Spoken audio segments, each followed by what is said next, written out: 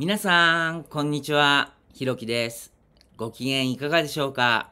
私は元気にしております。さてさて、ルーブル美術館のコレクションの続きです。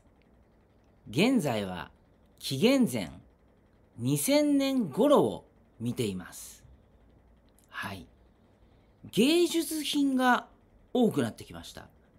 実用品ももちろんあるのですが、はい。芸術品、だいぶ増えてきましたね。はい。また、装飾が細かくなってきています。はい。そうですね。もう大人が作ったものなのか子供が作ったものなのかわからないようなものも多くありますね。はい。これらすべてを保管するのがルーブルです。はい。素晴らしい。はい。何でも持っておくぞと。はい。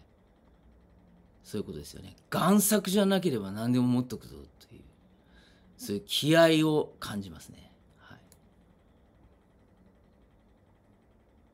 そうですね。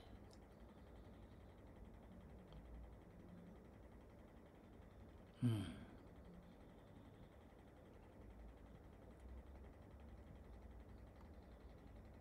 はい。ここのページはもうこんな感じですね。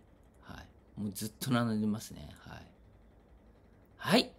今回の配信は以上となります。また次の配信、または別の配信でお会いしましょう。さようなら。